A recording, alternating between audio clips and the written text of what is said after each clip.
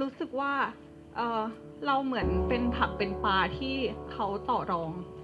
ไม่ได้แบบว่าปัดเศษไปเลยแล้วกันอย่างเงี้ย ขอไม่ไม่คิดตามวัน ซึ่ง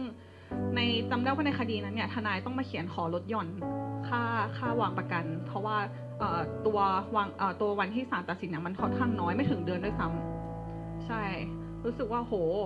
ชีวิตคนเรามันเป็นแบบมันเป็นตัวเลขที่แบบปัดเศษได้ขนาดนั้นเลยหรอหรืออะไรอิสรภาพเรามันเป็น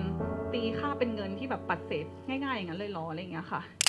สิ่งที่นายประกันต้องทำก็คือลงไปทำเรื่องประกันให้จำเลยอ่าจะต้อง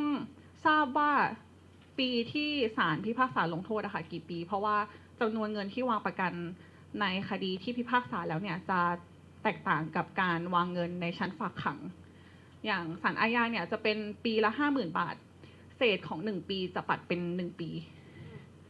จำได้ว่ามีคดีของจำเลยคนหนึ่งไอ้จำชื่อไม่ได้ แต่ว่าเหมือนศาลเนี่ยพิพากษาลงโทษเป็นหน่วยวัน ซึ่ง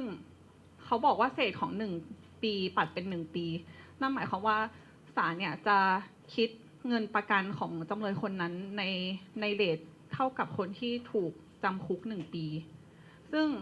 รู้สึกว่า เราเหมือนเป็นผักเป็นปลาที่เขาต่อรองไม่ได้แบบว่าปัดเศษไปเลยแล้วกันอย่างเงี้ย ขอไม่ไม่คิดตามวัน ซึ่งในจำได้ว่าในคดีนั้นเนี่ยทนายต้องมาเขียนขอลดหย่อนค่าค่าวางประกัน เพราะว่า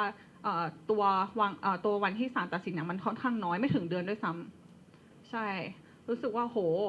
ชีวิตคนเรามันเป็นแบบมันเป็นตัวเลขที่แบบปัดเศษได้ขนาดนั้นเลยหรอหรืออะไรอิสรภาพเรามันเป็นตีค่าเป็นเงินที่แบบปัดเศษง่ายๆอย่างนั้นเลยหรออะไรอย่างเงี้ยค่ะ แล้วก็นอกจากที่เรายื่นประกันแล้วเนี่ยหน้าที่อีกอย่างหนึ่งของนายประกันก็คือการดูแลความอิ่มท้องของจำเลย หลาย ๆ ครั้งเนี่ยจำเลยมาศาลตั้งแต่เช้าเนาะฟังคำพิพากษาเสร็จอาจจะประมาณ 10โมง11โมงแล้วเขาจะถูกพาไปห้องเวนชีข้างล่างเลย ก็ไม่ได้ทานข้าวเที่ยงนายประกันก็หลังจากที่ทำเรื่องเอกสารเกี่ยวกับการประกันเสร็จเนี่ยนายประกันก็มีหน้าที่ที่จะต้องอซื้อข้าวให้จำเลยข้าวเที่ยงอะไรอย่างนี้ ก็วิธีซื้อข้าวเที่ยงของที่ศาลอาญาเนี่ยคือ เราไปสั่งที่ร้าน แล้วเราก็เขียนชื่อจำเลย เขียนข้อมูลส่วนตัวของจำเลยใส่ไว้ในกล่องแล้วเดี๋ยวเขาจะเอาไปส่งให้ แต่ว่าความแปลกประหลาดของการซื้อข้าวที่ศาลก็คือ เราไม่สามารถซื้อน้ำที่มีน้ำแข็งให้กับจำเลยที่เป็นผู้หญิงได้ ไม่รู้ทำไมเหมือนกัน เพราะว่า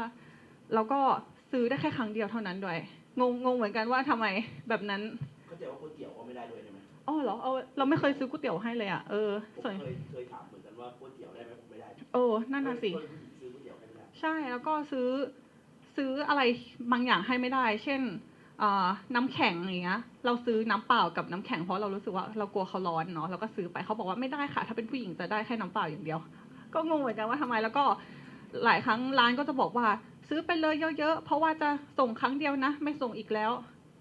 ก็คือไม่ไม่เข้าใจเหมือนกันว่าทำไมถึงเป็นอย่างนี้เอ่อรู้สึกว่า หนึ่งหนึ่งสองเนี่ยมันยังไม่เป็นที่รู้จักกับคนอื่นๆเท่าไหร่นะถ้าถ้าเป็นคนที่ไม่เกี่ยวข้องกับคดี อย่างเวลาไอ้ไปศาลแล้วก็ต้องซื้อข้าวฝากจำเลยอย่างเงี้ยค่ะ ก็เจ้าของร้านเนี่ยเขาจะถามว่าจำเลยเนี่ยเป็นคดีอะไรถูกถูกถูกพิพากษาในคดีอะไรอย่างเงี้ยพอเราบอกว่าหนึ่งหนึ่งสองเขาบอกไม่ไม่รู้ว่าคือคดีอะไร อืม ซึ่งก็รู้สึกว่าเราอาจจะอยู่ในกลุ่มคนหรือว่าวงสังคมที่รู้จักคดีนี้ แต่ว่า วงข้างนอกจริงๆอะมีอีกหลายคนที่ไม่รู้จักด้วยซ้ำว่าหนึ่งหนึ่งสองคืออะไร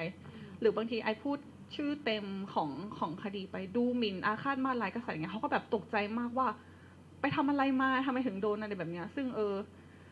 พอบอกว่าแชร์โพสต์เฉยๆเขาก็ดูตกใจว่าแบบจริงเหรอโดนโดนคดีเพราะว่าแชร์โพสต์แค่นี้เหรออะไรอย่างเงี้ย